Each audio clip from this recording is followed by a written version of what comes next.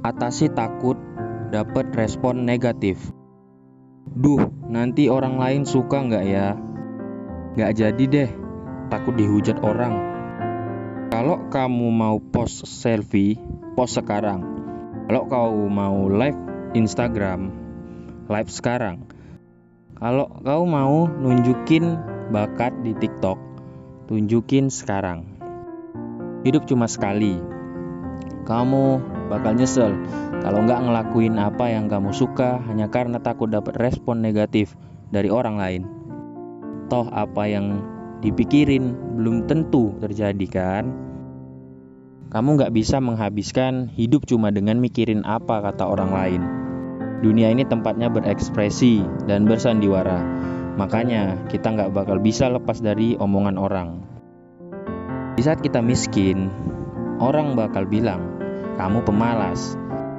Saat kamu kaya, orang bakal bilang kamu sombong dan pelit.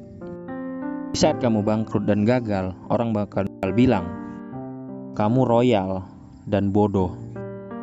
Namanya juga makhluk sosial. Kita yang jalani, Tuhan yang menentukan, orang lain yang mengomentari.